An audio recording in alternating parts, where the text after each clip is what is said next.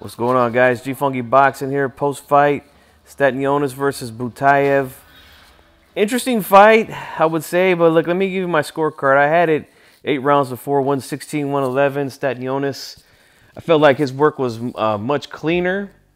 Uh, you know, he's more sharp in there, and that jab did, I mean, wonders for him. I mean, that thing is like a laser. It's just boom, boom. He shoots it in there really good.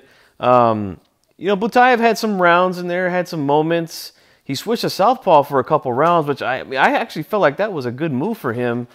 But he goes back into orthodox for a majority of the fight after that, and you know, I don't know. Maybe he didn't feel right. Maybe he didn't feel comfortable. I'm not quite sure, but uh, I just feel like uh, Stanionis, like I said, the jab controlled a lot of uh, of the fight, and it was sharp as can be. He was following up with good good shots, good left hooks uh, off that jab, right hand straight down the pike.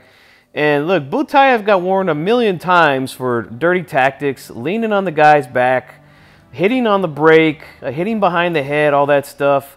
Look, this referee should have been took a point away. It took him 11 rounds of hard warnings to this guy to finally take a point.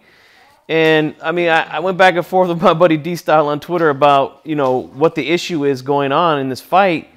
Um, you know, he's, he's, saying that he thought that uh, was ducking too low. But I mean, hey, look, he's avoiding those hooks from from Butaev. So I mean, look, he's got to go somewhere if he's going underneath him. And Butaev just jumped on his back. Like to me, it was very reminiscent of Vladimir Klitschko. You guys know I couldn't stand his style. But anyways, Stanionis throws his name in the hat at, uh, for these guys at 147.